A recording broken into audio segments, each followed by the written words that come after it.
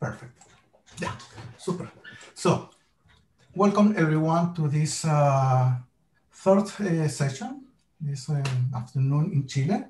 Uh, as as before, we we plan to to get your question by either chat or uh, at the end by by turning on your microphones and giving the questions. And also at the end, we're going to have uh, some propaganda for, for you to know Chile. Uh, so uh, it's for me a pleasure to introduce you to next speaker. He's Ernesto Lupercio. He's from the Departamento de Matemáticas in CINVESTAV, que es Center for Research and Advanced Studies in Mexico City. Uh, he will talk us about quantum toric geometry. So, Lupercio, please, thank you for, for being here. Uh, thank you so much. I hope you can hear me well. And uh, uh, for now, I will have my camera off because the bandwidth may take a toll, but at the end of the questions, I may turn it on. Also, because I'm going to be writing on the screen, and then it's kind of funny to to point the camera to the sailing. So in any case, uh, I'm going to be talking about this quantum toric geometry that we have been developing uh, who is we is uh, Ludmil Katzarkov at the University of Miami, Laurent Meersseman uh, at the University of Angers in France, and Alberto Verjovsky at UNAM in Cuernavaca in Mexico. And we have been working developing a generalization uh, of, um, so this is a, a generalization of toric geometry, generalizes toric geometry uh, in a very interesting way. Uh, so we, let's see. So uh, to begin with, what reference am I using? Well, I, I'm using this paper, that is a 2014 paper, where we kind of uh, describe or announced and proved some basic properties of the theory. Back then, we used to call them non-commutative toric varieties. But this was confusing. Uh, of course, in quantum theory, uh, xy is not yx for the coordinates.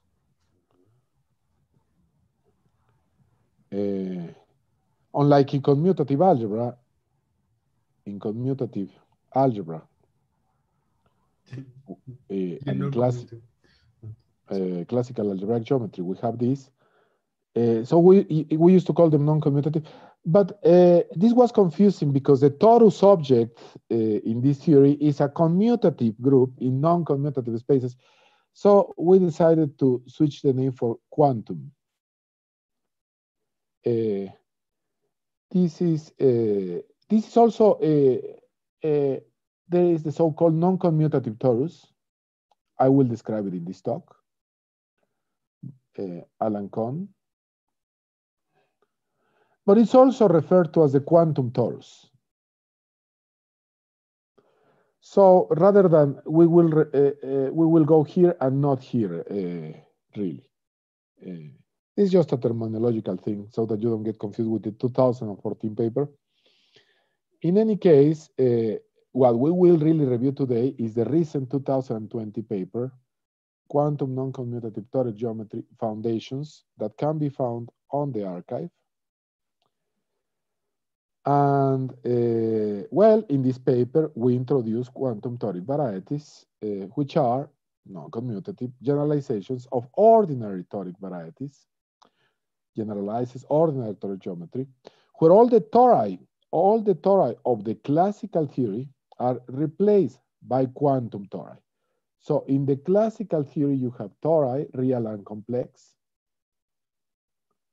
real and complex tori, and all these tori in the new thing will become quantum tori.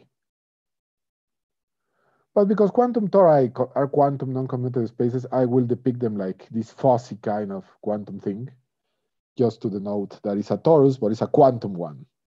And I will explain what this is, don't worry. Uh, and then in this quantum toric geometry is a new toric geometry that contains the old toric geometry, of course, and generalizes the uh, non-trivially most of the theorems and properties of toric geometry. Uh, we will be mostly considering these quantum toric varieties as stacks. Uh, and uh, well, then we will have quantum fans rather than only fans. I will explain what is a quantum fan, and we will have quantum geometric invariant theory. And so you have uh, I use for toric varieties in your work. Now you can generalize parts or so all of your work to the quantum realm using quantum toric varieties. Uh, but unlike, unlike classical toric varieties, quantum toric varieties admit moduli. There is a modular space. There is a modular space of toric varieties. Uh, and this modular space, it didn't exist in the classical case. Why? Because this modular space, I will explain, is a complex orbifold in our case. And the rational points, the rational points, the rational points, the Q points, are the classical toric varieties. And all the points that are not rational, all the other points are the quantum ones. So you couldn't have the modular space in, with the purely classical objects because they are just this discrete set inside the, the modular space of all toric objects, quantum and non-quantum included. Okay. Now, the theory we present here is a wide-ranging generalization of toric geometry. Uh, and there were early attempts and approaches uh, uh, to do generalized toric geometry to irrational, to irrational polytopes and fans in a number of ways. for example, Prato in 1999 associated to an irrational incomprendo to irrational polytope associated something uh, uh, something uh, some objects uh, with atlases etc etc so she, she, associated in 1999 in Comprendo an object. Uh, they, they, Battaglia and Prato elaborated that point of view that is sort of symplectic. Then Battaglia and Zaffran did something in the complex case. Then Bredler and Lunz did something in derived algebraic geometry. Uh, and Firat and Ford associated in 1999 also uh, an object to an irrational polytope. Uh, Hopman in 2020 associated some things. From the point of view algebraic statistic, Postinghel and Sottile, and Ratiu and Zung from other symplectic point of view. So there is various uh, approaches uh, in this story. So, and they must be, uh the relations must be elucidated in the future with more clarity. In any case, we use stacks and non-commutative geometry spaces.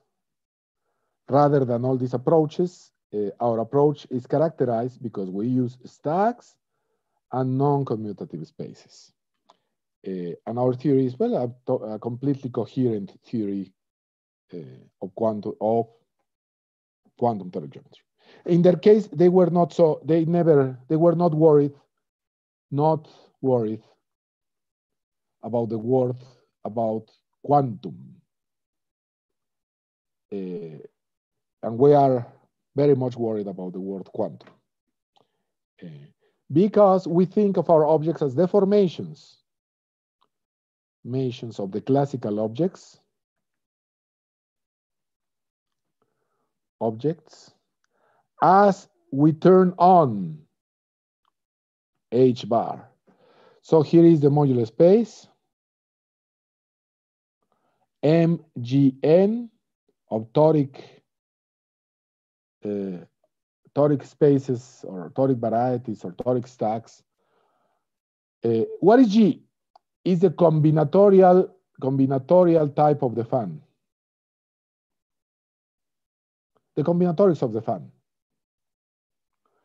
And what is N? Well, it's some mark points somewhere. So we have this modular space MGN, and the parameter that the coordinates is this H bar. The H bar is the coordinates, uh, well, may belong to Cn, is many H bars, and is the parameter for the modular space. So for us, it's very important to deform classical objects, turning on the Planck constant into the quantum real. Okay, that's a kind of very schematic situation. Uh, now, classical theory of geometry. Uh, well, the classical theory of geometry, you remember, is uh, tori, tori, real, and complex play a role. Uh, so, uh, a very classical n-dimensional and complex dimensional com compact we don't need to do compact in this theory, but let me concentrate on compact in these examples. Projective, we don't need to be projective, but let me concentrate on projective on this, on this story. Uh, Kähler toric manifolds can be defined, if you want, as an equivariant, equivariant uh, projective compactification of the complex torus. So X is a compactification of the, in the simplest of cases where it's compact and projective. And there is more general cases, of course. Uh, C star will always be C minus zero, and this will be the complex torus. And uh, so uh, um, real tori, well, are inside the complex torus. And it acts holomorphically on the Kähler manifold. And so it has uh, an action of the real torus. And this action is Hamiltonian. And because it is Hamiltonian, it has a moment map. And the moment map, whatever it is, uh, it's a, ma a, map from your toric variety to a polytope. And in the classical case, this polytope actually is a rational polytope. This is the classical toric geometry case It's a rational polytope. So there is this map from the toric variety to a rational polytope. Uh, and this is satisfies moreover uh, uh, a combinatorial condition uh, in these very simplest of cases that is the dual of a triangulation of the sphere. So that's the situation that we encounter ourselves on in the simplest of cases. And here is the picture. Here you have the image of the moment map. And this is QM.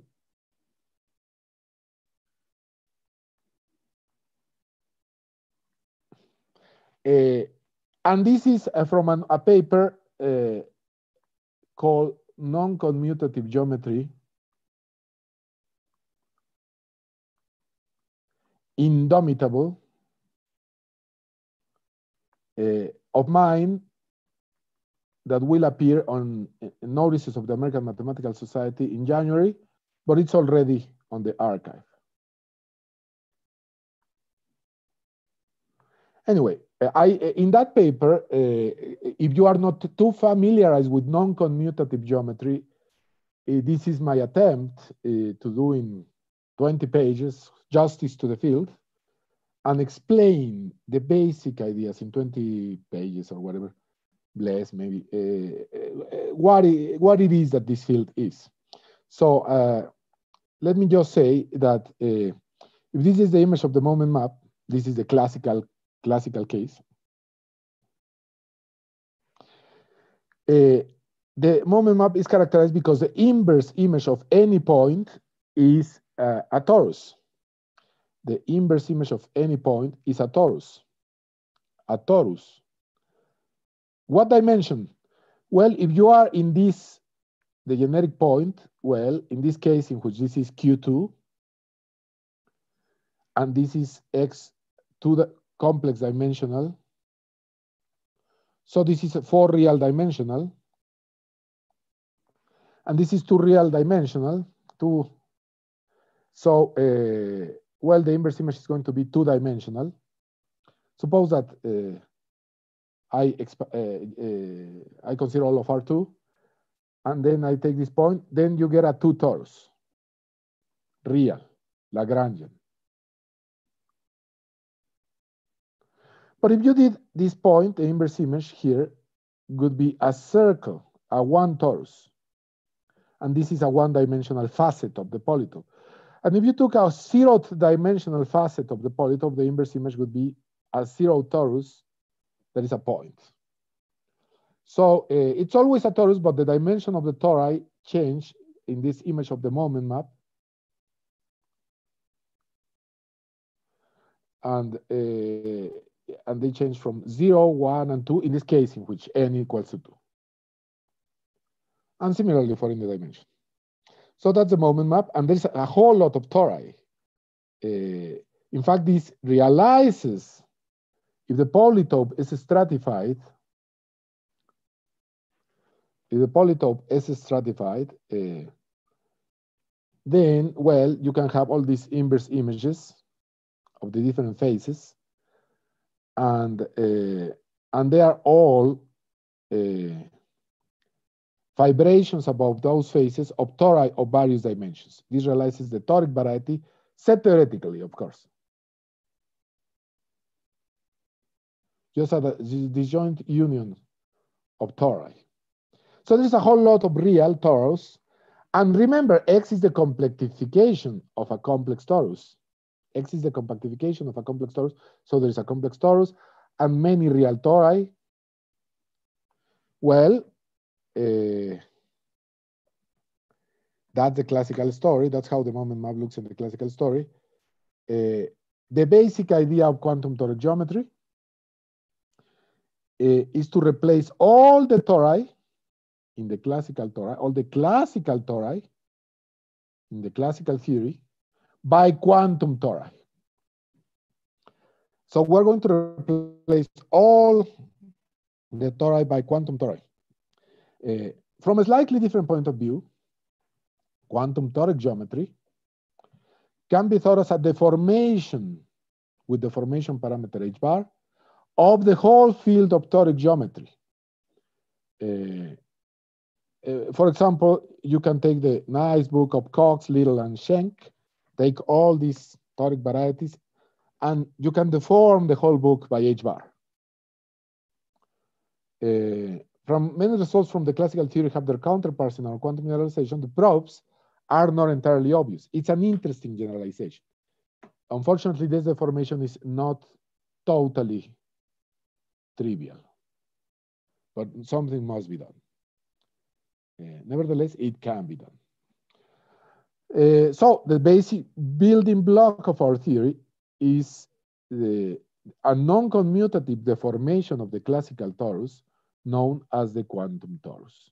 So the quantum torus gets this fancy and it's deformed by this parameter.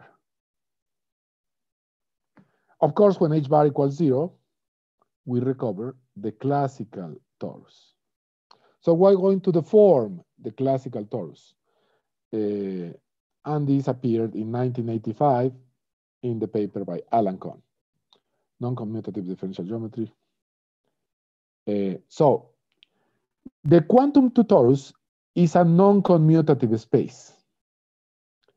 And what is a non-commutative, uh, here should say the opposite category. What is a non-commutative space? Well, essentially it's a non-commutative algebra. Modulo Morita equivalence. Uh, for me, it's a non-commutative algebra modulo today. It's a non-commutative algebra modulo Morita equivalence. So if you have a space, traditionally, it's regular functions would be a commutative algebra. Now you get a non-commutative space, whatever it is, its regular functions, it's a non-commutative algebra. Uh, so essentially, think of a non-commutative space as a non-commutative algebra. Op uh, is the opposite functoriality, uh, a contravariant functor, uh, and uh, well, these algebras often come in families, like this algebra generated by two letters that holds this relation that is called, well, by many mathematicians, this is called the non-commutative torus, torus, this non-commutative algebra. Notice that if h bar is zero, this becomes commutative. Uh, and in fact, something less obvious but true is that if h bar is rational, the algebra, while not, not commutative, is secretly commutative. Namely, it is Morita equivalent to a commutative algebra. Uh, so there is this equivalence relation called Morita equivalence that uh, sends it to a commutative algebra. But let's ignore the fact. Uh, this uh, uh, just think of this algebra as the non-commutative torus for now. And this algebra is meant to be the algebra of functions on some on some on some on some non-commutative space. On this non-commutative space, its algebra of functions is this algebra depending on h bar, which I, I think intuitively as small, but not necessarily. Certainly real. Uh, well, this, this equation, this, can, this algebra can be realized as an operator algebra uh, on Hilbert space. And in fact, this equation is precisely the classical Born-Heisenberg-Jordan commutation relation from quantum mechanics in Weyl exponential form. So uh, we take this algebra that comes from quantum mechanics and we think of it as uh, coming from a space.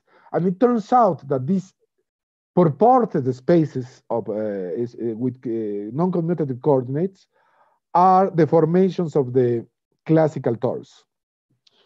So uh, this algebra appears in the papers that won the Nobel Prize for Physics, Max Born, Werner Heisenberg, and Pascual Jordan. And uh, in this form, it's the exponential form in the classical work of Hermann Weyl, Quantum Mechanics and Group Theory.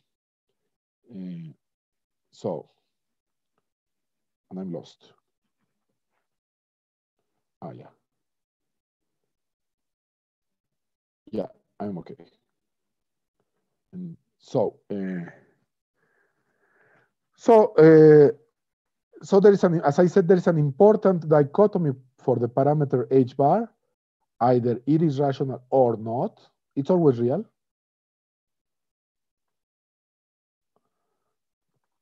Uh, and the space is truly non-commutative only when h bar is irrational.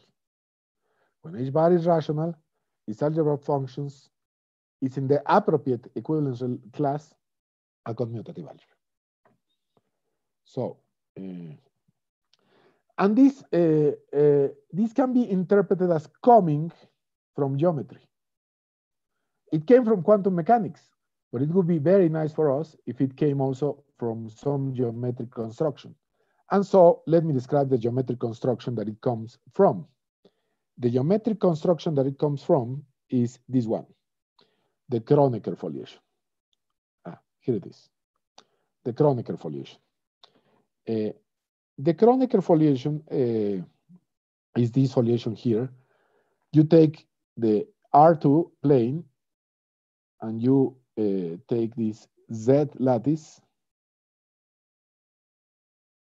subgroup acting or Z lattice inside R2. And if you take the quotient, you get a torus.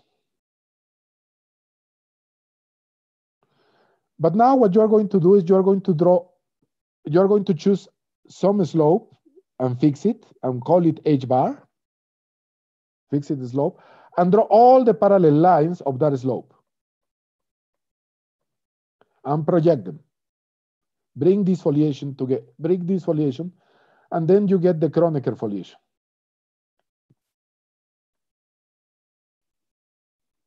And notice something very nice.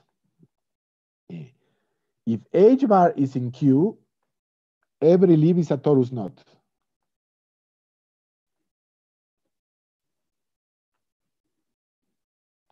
But if H bar is not in Q, every leaf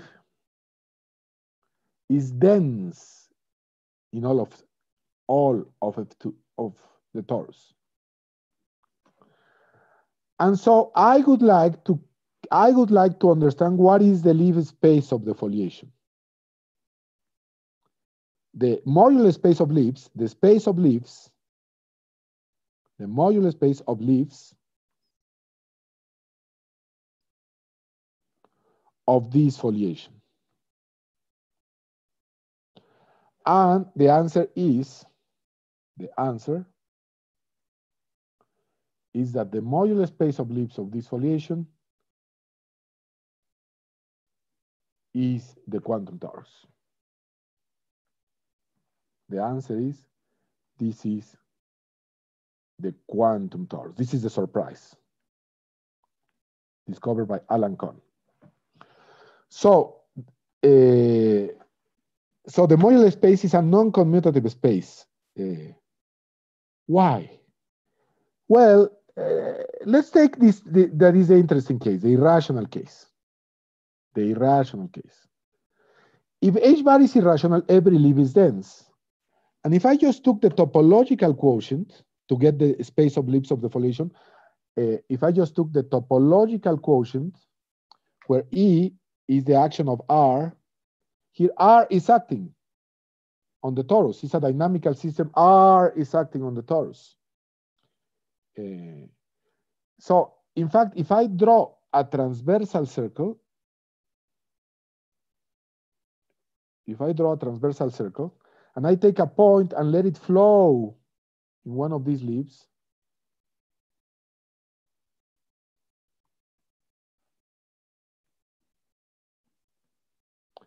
it comes back, and it comes back with a difference of h bar.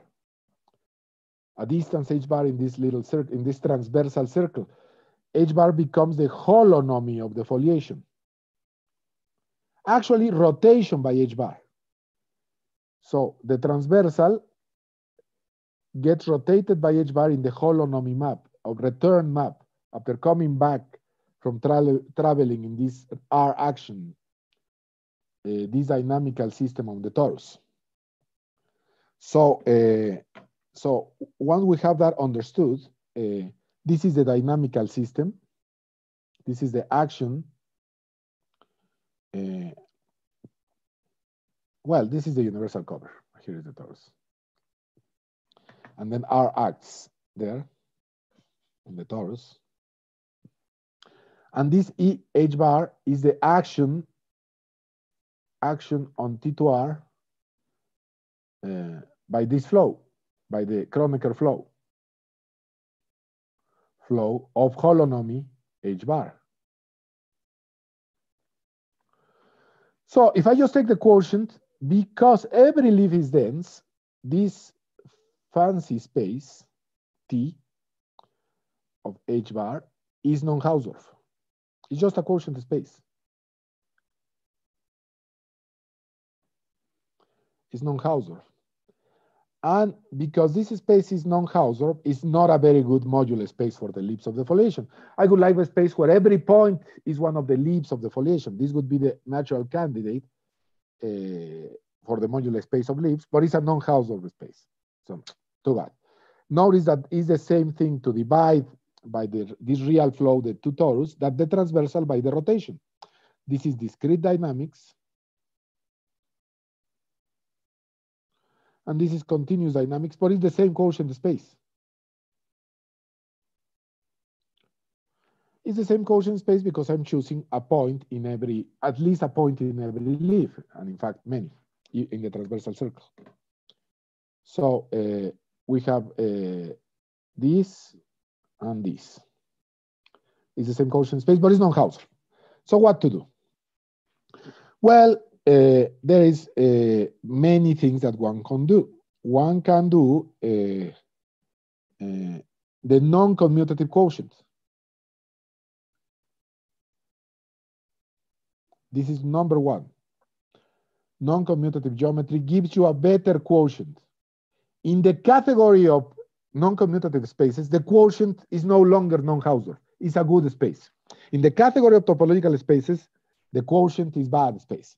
In the category of non-commutative spaces, thinking of the algebras of functions, it's just a non-commutative algebra. It's okay. You could also use, instead of non-commutative algebras, stacks, shapes of groupoids. And in the category of stacks, that's okay. Uh, uh, you, you usually pass through a topological groupoid or smooth groupoid to get the stack. Uh, so this gets a little bit technical, but uh, this gets a little bit technical, but uh, if you have a groupoid, and what groupoid I'm going to take? I'm going to I either take T2R with the EH action, with the real action of, uh, of holonomy H bar, and this gives me one groupoid. This group action give me, remember that groupoids contains group actions.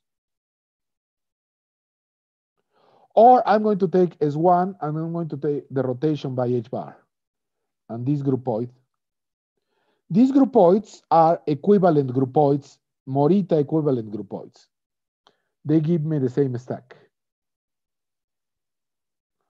So if a groupoid I apply its Morita equivalence class, I get a stack. Uh, and uh, these two groupoids, for example, give me the same stack a groupoid, I, I can get its convolution algebra. And then I get a non-commutative algebra. And the Morita equivalence class is a non-commutative space. And there is a map from stacks to non-commutative spaces. Every stack gives me a non-commutative space, but different stacks could give me the same non-commutative space. Nevertheless, not if I restrict to the category of these objects that I'm going to be working, the toric objects. So in this case, it's the same to have the non-commutative space as to have the stack. Uh, so for the example of the quantum torus, we get the groupoid of this real action, this real dynamical system flow on the torus, the Kronecker flow. This gives me a non-commutative algebra. Guess which one? The quantum Heisenberg uh, algebra exactly that one. Uh, and this is the Morita equivalence class of that algebra. This is a non-commutative space. And this is the stack associated to the groupoid. And this is convolution. So uh, I have four different avatars for the non-commutative torus. And I will have four different avatars for every quantum toric variety. This is called the quantum torus, and it has four avatars. One, two, three. I can think of it as a group action. I can think of it as a non-commutative algebra, as a stack, or as a non-commutative space. I have those four, uh, uh, four structures there. Well, uh, uh is what I just said. There is four ways of thinking of the quantum torus. Four ways of thinking of the quantum torus. The algebra I will call the non-commutative torus, as most people, and the stack I will call the quantum torus. Very well then. Uh, uh, these are interesting remarks, but that I will start to skip because I'm, run, I'm running out of time. Uh, in any case, uh, this is important, very important. So remember, here is the, the Kronecker flow. This gives me the circle with a rotation. And I'm going to take the universal cover of the circle. This is the exponential map. And I'm going to take the inverse image of 1 and h bar. So I'm going to consider 1 and h bar uh, the subgroup generated, the additive subgroup generated, additive subgroup generated by one and h bar inside of R, the universal covering of the circle. And this I'm going to call gamma.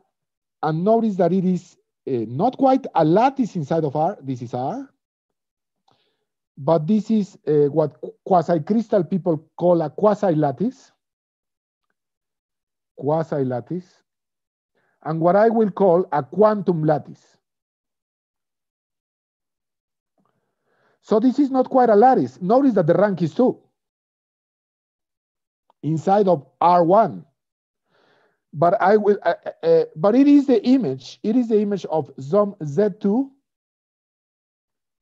into R, where 0, 1 goes to 1 and 1, 0 goes to H bar. So such things I will call quantum lattice. Okay, so it's a quantum lattice. Uh, and that either having this one or having this two or having this geometric object three R together with its quantum lattice recovers the quantum torus.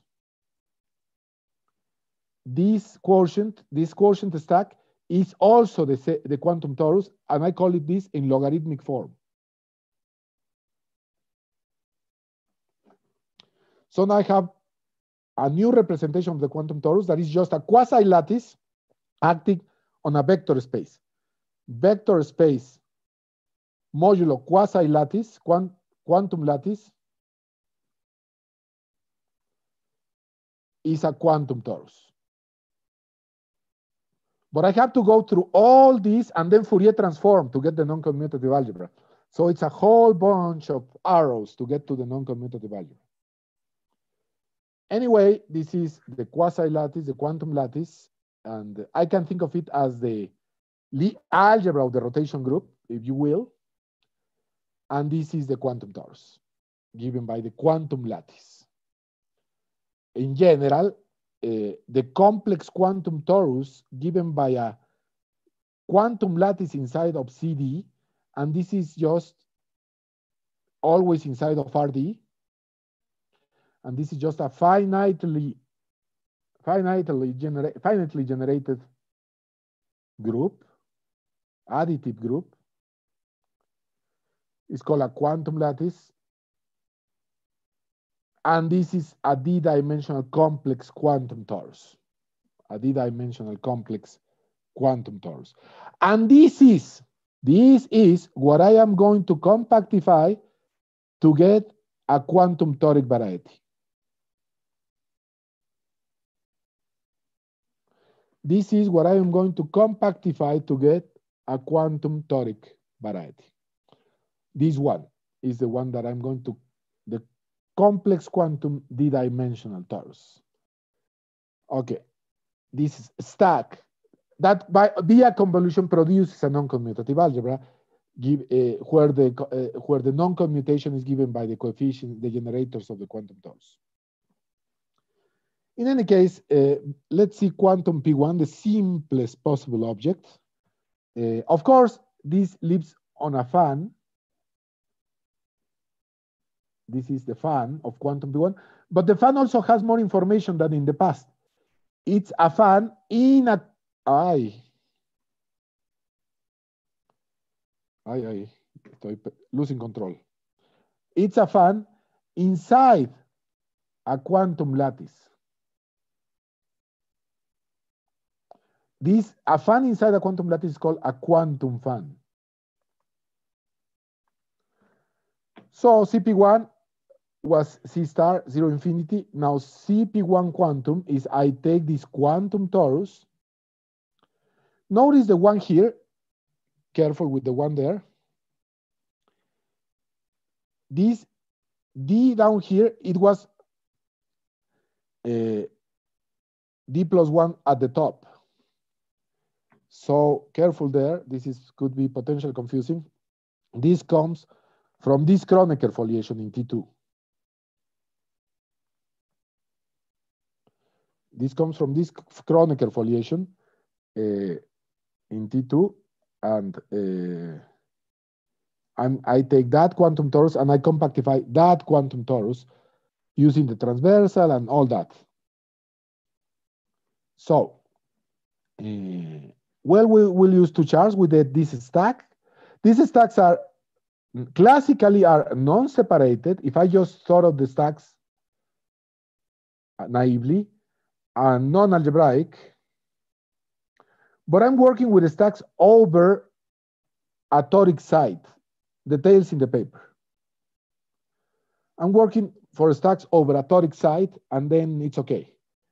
In any case, uh, I get a coordinate here, and I imagine this as a, one of these orbifold charts, except that the stabilizer here is uh, Z or more.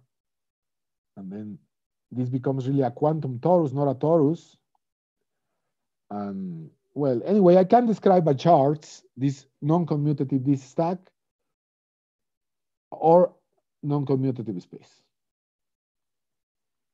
Uh, when gamma, of course, when h bar is irrational. When h bar is rational, you just get the usual orbifolds. When h bar is rational, you just get the usual orbifolds. Or the Deligne-Mumford stacks. Uh, so that's that. Uh, well, I'm going to skip a little, little bit this part, which is fascinating. Uh, and let me go to, to this part. Uh, uh, how, how am I to think of the complex structure in the in P1? Uh, in this in, in this P1, quantum P1. Well, a nice way to think about it is uh, in the following terms. Think of P1 as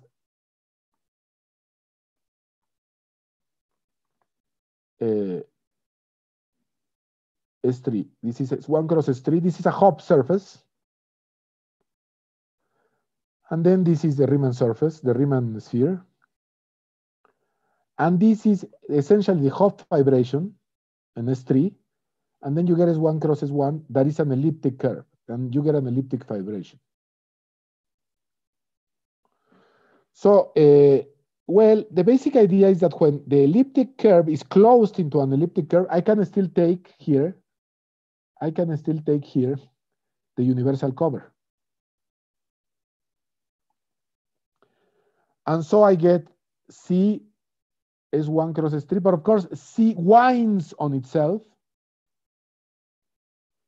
into elliptic curves to form this fibration. And now I perturb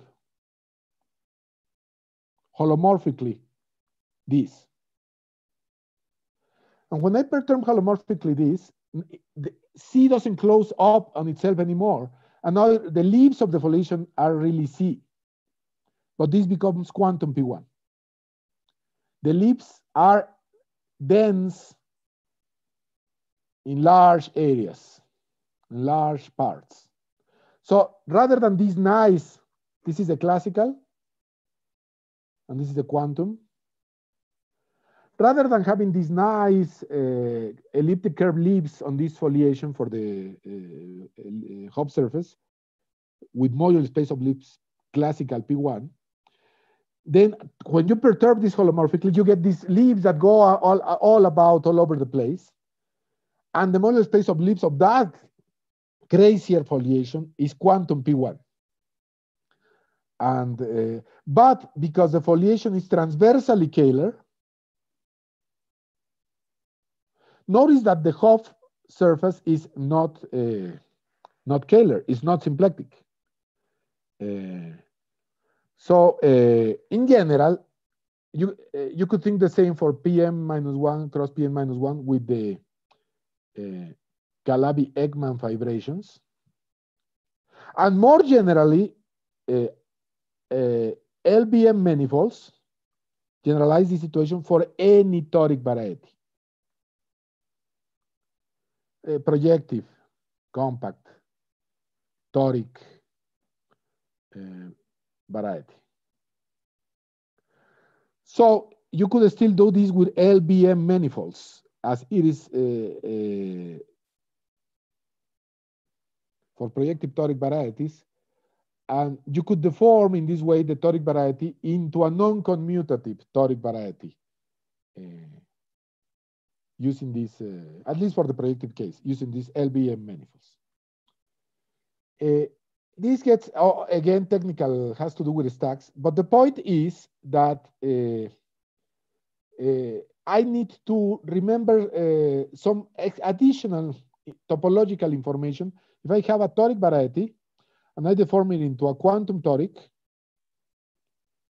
and then I deform back, what I really get is this together with a gerbe,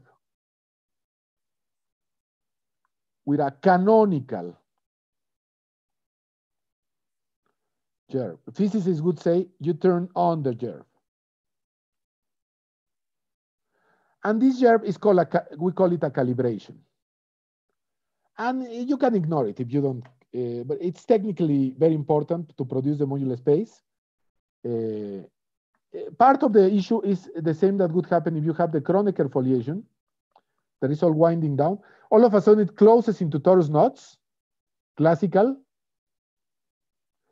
But then if you would want uh, if you deform back and so, then you all of a sudden you remember at every point a Z stabilizer, and this is the gerbe. It's a technical thing.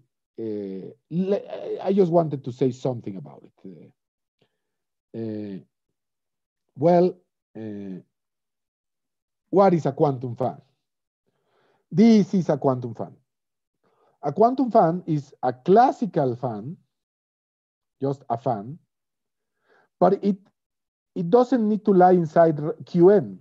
Rather than classical fans, this needs to lie inside a quantum lattice, which may be rational.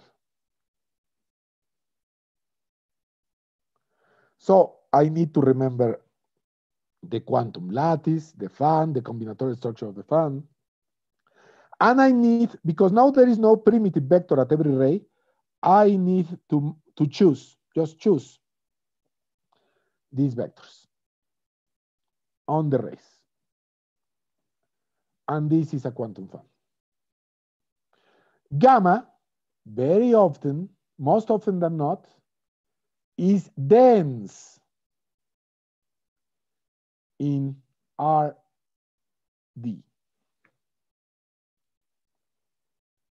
Uh, you can think of a higher dimensional lattice, higher dimensional lattice, mapping into gamma.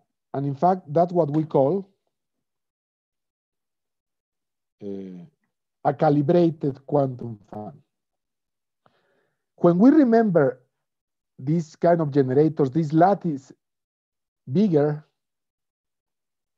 generally, that maps into your gamma, then this is h and h, that is 1 plus h bar, uh, is the deformation parameter of the module space.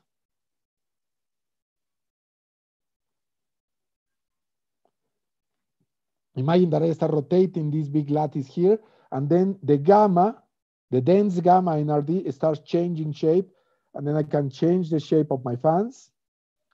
So it's the deformation parameter of the module space. And as I said, now we're going to form the modular space with fixed combinatorics for the fan. And this n is precisely the, uh, the these points. Where these n points went to. And then uh, this modular space, G is, you are to think that is the, like the genus of the toric variety. The combinatorial type of the, of the fan, uh, well, determines the topology. So we call it the, G, the topology of the uh, non-commutative space, the rational topology of non-commutative space. So we think of it as the quotation, quotation, the genus of the toric variety, is just the combinatorial type of the fan and uh, n, well, it's some sort of mark points. Then from this picture, we get uh, one of these quantum toric varieties associated to this fan, to the quantum fan. To the quantum fan. This is the quantum toric variety associated. It's a stack over the site of the toric manifolds. Uh, in any case, these uh, associated to this structure, the modular space of all these objects, well, forms this modular space, and it is a complex orbifold. So we managed to form the modular space of toric varieties. Uh, the relation between remembering the calibration and not remembering the calibration. Uh, and in the case, the category of simplicial and André, uh, Antoine, Antoine Boivin, uh, has uh, written a very beautiful paper where he generalizes our setting, but it's this, it, it is the same story, a beautiful generalization of the of our story to the non-simplicial case of calibrated quantum toric varieties is, is equivalent to the category of quantum toric fans, morphisms included.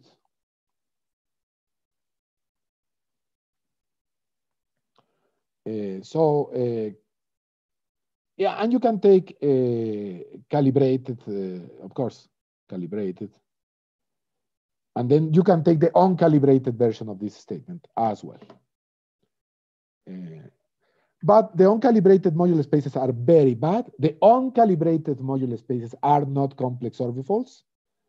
They lie be below the calibrated modular spaces that are complex orbifolds. It's like if you didn't mark points uh, in the module space, this is the uncalibrated, uncalibrating.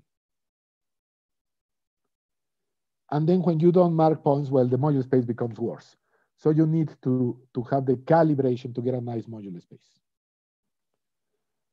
Okay, we have ge geometric invariant theory, but I'm running out of time. Geometric invariant theory is uh, uh, uses, let me just say the, cl the clue words, the Gale transform, and LVMB theory, these LVM manifolds that generalize Calabi-Eckmann fibrations, and uses all that story. In any case, uh, uh, we are able to represent uh, calibrated, if ha we have a calibrated fan, we can pres present uh, in terms of, uh, well, this is uh, open set, open classical toric variety, and then some just like in geometric invariant theory. Is this kind of thing given by combinatorics.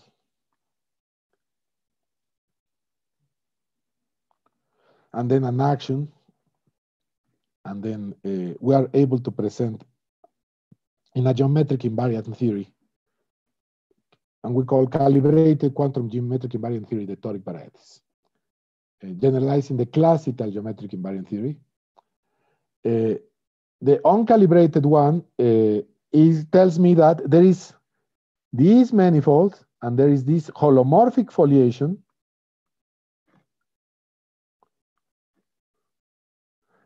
and there is this transversal and then there is this holonomy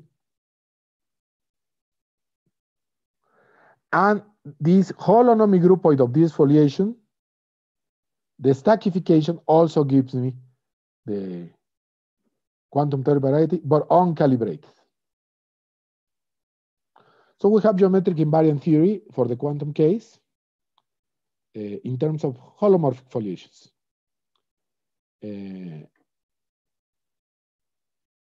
well, one can elaborate.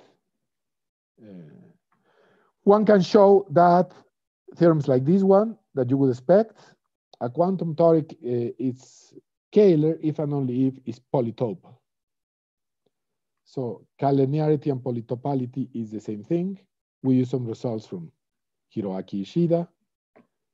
And uh, well, let me just finish because I'm running out of time. Uh, just mentioning that, uh, well, we managed to get this modular space uh, for, uh, for the calibrated, we fix the combinatorics, we take some mark gerb, and then blah, blah, blah, blah, blah, we can get the modular space. And the modular space in the most important cases, is a complex orbifold. The rational points are the classical toric orbifolds.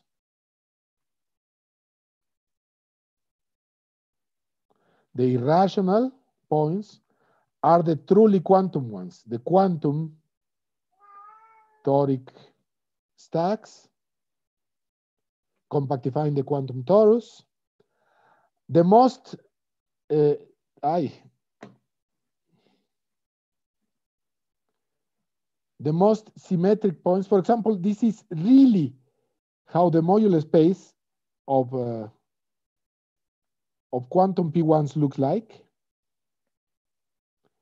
The orbifold point of the modular space is classical P1 because it's the most symmetric one. Then you get all the rational points that are the, the, the footballs, orbifolds. And then you get the irrational ones. And in the paper, we compute uh, explicitly several of these modular spaces. Uh, these are more fanciful uh, shape of this modular space for higher dimensions and blah, blah, blah. We compute the dimension of the modular space in terms of uh, the, the combinatorial data, et cetera, et cetera. And uh, now we are working on, we have already results on the compactification of the modular space.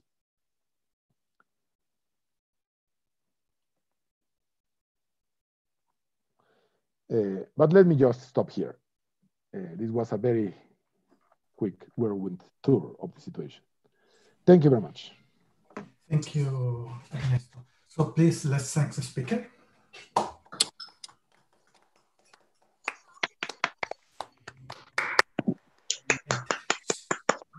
So, uh, Mauricio, do you see some question in the chat? Uh, I, I, I, I the, the, there is no question in the chat, but maybe you can just leave the floor open for people to ask questions. yeah, please. if anyone, no one wrote down anything. Yeah, if anyone want to ask, please unmute yourself and ask, please.